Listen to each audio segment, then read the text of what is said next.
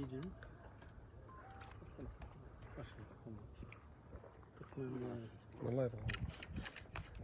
متابعينا الكرام متابعي شبكة القدس الإخبارية من أمام مدخل جامعة بير زيت الغربي مؤتمر صحفي للكتلة الإسلامية تعقيبا على اعتقال منسقها السيد القدومي من قبل قوات خاصة إسرائيلية.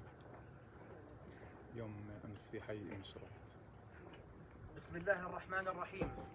بيان صادر عن الكتلة الإسلامية في جامعة بيرزيت أظننت كتلتنا تموت بضربة خابت ظنونك فهي شر ظنوني.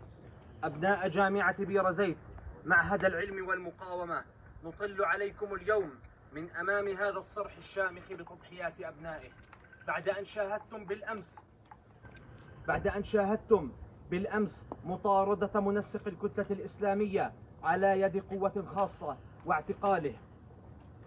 في الأيام الماضية شاهدتم بوضوح زميلنا منسق الكتلة الإسلامية أسيد القدومي على دوار المنارة يتحدث باسم جميع الحركات الطلابية وبلسان كل ضمير حي من طلبة جامعتنا حرقة على غزة ونصرة لدمائها.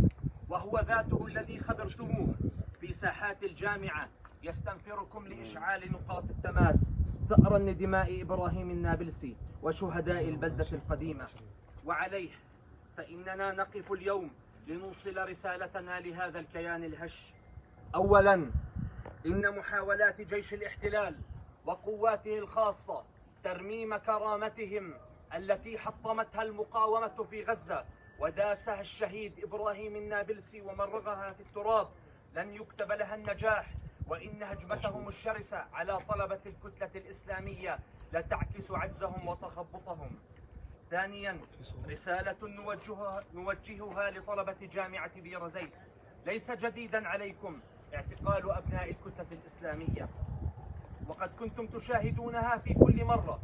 تقف على أكتاف أبنائها حاملة ثقتكم شامخة أبية كما عهدتموها. ونعدكم بأن كل حق لكم لن ينقص.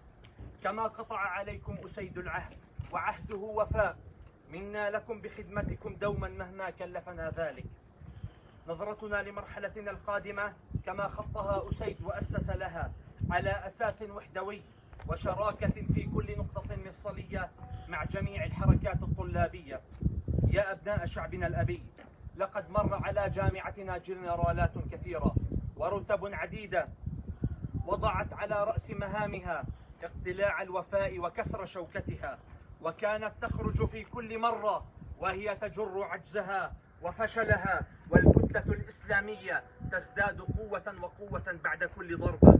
وختاما على منظومة الشباك الواهية وضابط الجامعة الغبي أن يعلم أن ذراعا طلابيا أصله حماس ومقاومته قسام.